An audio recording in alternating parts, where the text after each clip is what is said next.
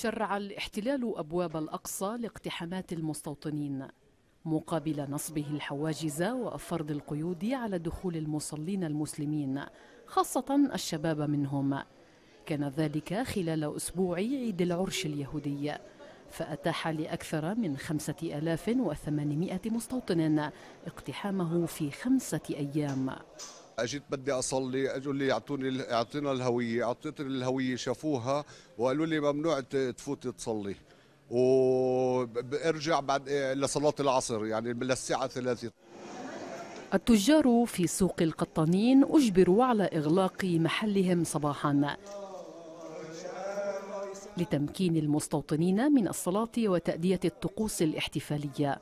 التي لم تخلو من اعتداءات طاولت فريق التلفزيون العربي لحجب تجاوزاتهم التي ترتكب عند عتبات الأقصى.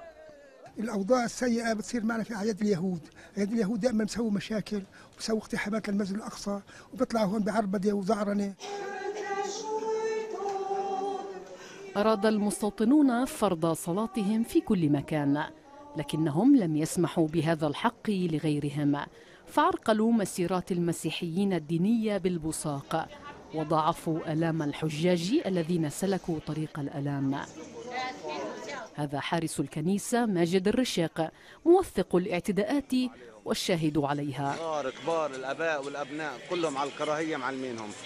وهذا مكان مقدس لكل مسيحية العالم. وللأسف بيجوا بيطلعوا من هون وبكون حاملين الصلبان وبتم التعرض لهم بالبصق والشتائم. على الناس الحاملين هذا الصليب من المتطرفين اليهود. رأس السنة العبرية ويوم الغفران والعرش.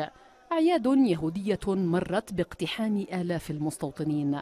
فيما تجاوز عدد مقتحمي الأقصى منذ بداية العام خمسين ألفاً. صعد الاحتلال من تضييقاته على الفلسطينيين وحرياتهم خلال موسم الأعياد اليهودية هذا العام. فأغلق الأقصى في وجوه المسلمين لتسهيل اقتحامات المستوطنين وتأدية طقوسهم بينما أصبحت كنائس المسيحيين مسرحا للاعتداء والشتم ومختلف الإساءات. من البلدة القديمة كريستين ريناوي العربي القدس المحتلة.